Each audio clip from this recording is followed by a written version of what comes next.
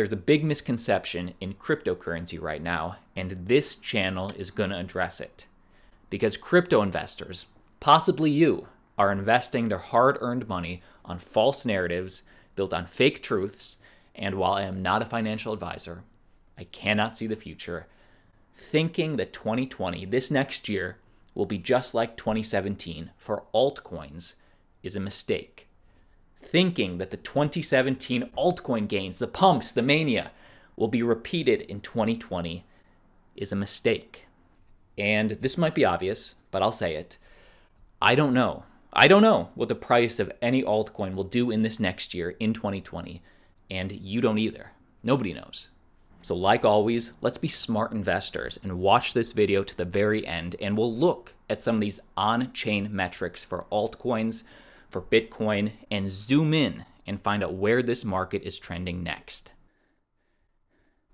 Because welcome back, everybody, to Altcoin Daily. My name's Austin. Hit subscribe. You do not want to miss one of our daily videos keeping you informed on Bitcoin, on altcoins going into this next year.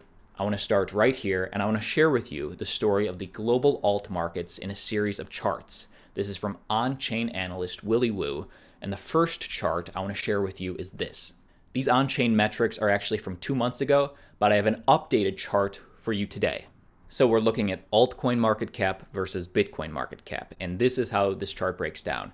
This is the Bitcoin price off of USD. So this is uh, you know an obvious chart you've seen before. This is the altcoin market cap over the last 10 years compared to the Bitcoin market cap. So, another way to think about this is altcoin dominance versus Bitcoin dominance. And notice, even though the price of Bitcoin can be hitting all time highs, we're around 20K per BTC right there. Altcoin cap versus Bitcoin cap, altcoin dominance can be hitting all time highs as well. Because even though Bitcoin was popping off, the altcoins during that time were popping off a lot higher, a lot harder. And two months ago, we showed you this.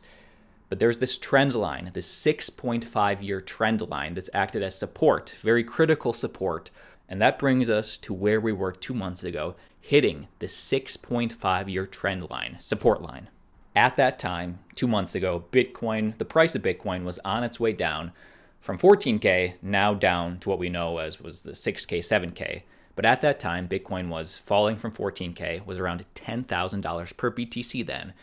And the altcoins, they were falling a lot harder. And if we look at this support line in the last 10 years of cryptocurrency, every single time the altcoin cap hit this support line, we bounced off. In 2014, close to 2015, and 2016, and right before the run up of 2017. And we hit it two months ago People were expecting it to bounce off. After all, we were vastly oversold. This was the RSI two months ago. So let's bring it to today and find out where we are with this 6.5 year support line today. This is the live chart. I'm going to link all these down below in the description. But this right there, that's where we were two months ago. This is where we are now. So it looks like we did bounce off it. RSI is at a better place, not too far in one direction or the other, although we do still have this trend down. But if we put the support line on, where does that bring us to today? Well, it turns out that we're still at a very critical point right now for altcoins. We're skimming around this trend line, and we have never known life under this trend line for the existence of altcoins, which is short. But where we go from here, whether that being up or down, could be very critical when it comes to the price of these alts into 2020. So this is where we are today, with the price of one Bitcoin being around $7,400. Many people are speculating, expect the price of Bitcoin to drop lower before we rally up higher into 2020. And if Bitcoin would have a capitulation like breakdown into the 6K, into the 5K range, I'd expect Bitcoin dominance to keep increasing, go closer to the 75 or 80% Bitcoin dominance mark, in which case these altcoins would drain harder. Now, if that happens, we don't know what life would be like for these altcoins below this support. We have never seen it before. And this could vastly affect which altcoins, because there's going to be very few that actually have that value for gains in this next year. If you're finding value, if you appreciate this type of content, hit like, lets me know I'm doing something right. But if I could just offer a little bit more perspective with a different chart. Here's the same data visualized on the price domain. the total crypto cap, market capitalization, priced in BTC supply. If that doesn't make sense, I'm going to show you this in a second. It's the same chart, uh, visualized differently. The 2017 gap that opened up, which I'll show you in one second, well, that was made of Ponzi fluff. Now, what's that mean? That means ERC20 ICOs investing in other ERC20 ICOs, blowing up their combined caps like a fiat money printing machine. Here is the chart I want to show you.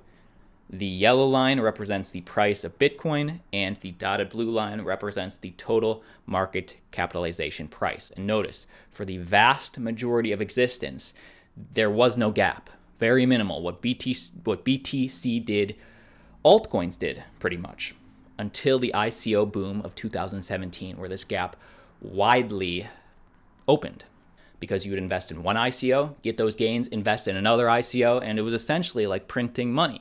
In these last two years, we've seen that deflation. We've seen these lines slowly, at least very slowly actually, uh, become more like what they were pre 2017. But notice where we are right now. The gap still exists. I like this. I like this perspective. Now, what does this mean to you going into 2020? Well, from Willy Woo, fundamentally, those alts are screaming in pain. These two charts show how, how they have not yet detoxed from the 2017 bubble valuations. Though locally oversold and may see some bounce in the coming weeks, longer term into 2020, I can't see these levels holding.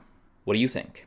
Me personally, I'm not going to make any rash decisions until I see we break clearly above or below for any extended amount of time this 6.5 year trend line. That's me. Now, this being said, I want to challenge you. I still think there is heavy potential for certain altcoins going into this next year as long as we realize that 99% of alts will fail. They will.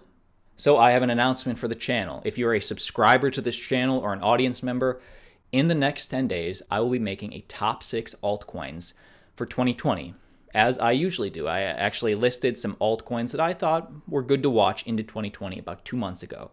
Well, in this video, I want to call on you we have we have captured a vast audience here at Altcoin Daily. The audience of this channel is smart. They do their research. So in this community vote, I want you to comment down below. You can do this on here. I will also send out a tweet on our Twitter. There's a link down below. And vote which altcoin and be specific, be choosy, which altcoin you see having real value in 2020. Now, I know what you're thinking. You're saying, Austin, I subscribe to this channel for your, your perspective. I don't care what the audience says. And you know what? That's exactly what you're going to get because the top six altcoins, the top six altcoins that you choose, get ready for my perspective. Get ready for me to be ultra critical in sharing with you the benefits and the criticisms of each altcoin that makes the top six in a nice, concise 10 to 15 minute video. I'm gearing up for this to be the ultimate list of 2020.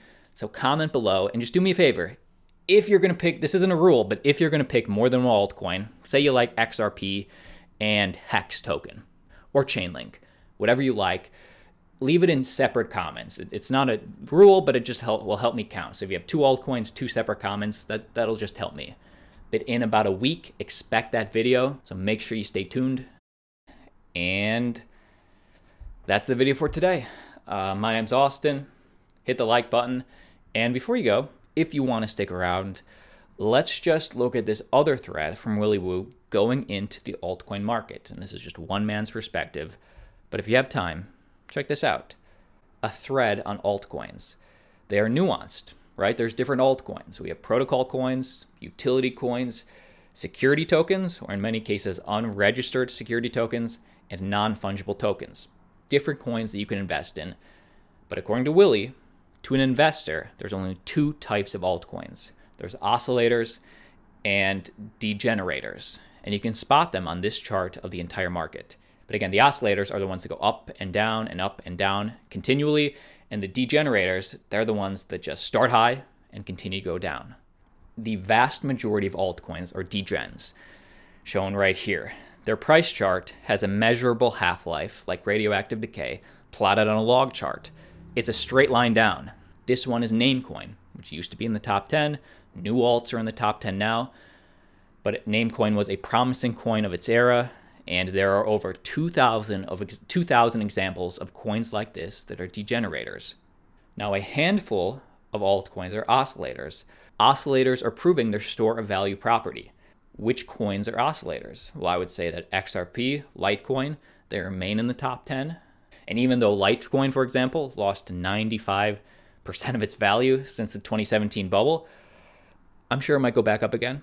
No guarantees, but in the past it has, just like XRP. To qualify as an oscillator, they need to keep up with their BTC USD gains. It must oscillate around a horizontal line for at least one full bull bear cycle around four years. More cycles are obviously better.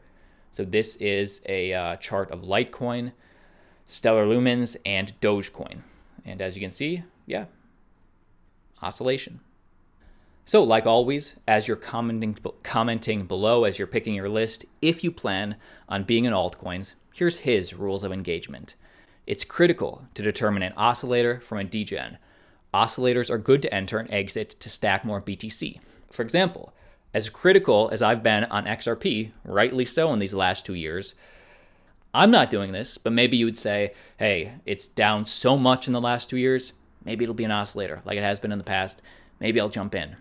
So pick the oscillators, never hodl a degen period, get the F out, and be careful on the coins younger than one full cycle. And just for perspective, in the top 10 right now, uh, Litecoin, XRP, Oscillator, Bitcoin Cash, EOS, any of these Generation 3 DApp platform cryptocurrencies, not a lot of time to really make that decision whether they'll be like the alt like Namecoin in the top 10 for years and then out. We'll get maybe new ones in 3 4 years or whether they'll be the oscillators. So you tell me. Anyway that is the video for today. My name's Austin. Like always I'll see you tomorrow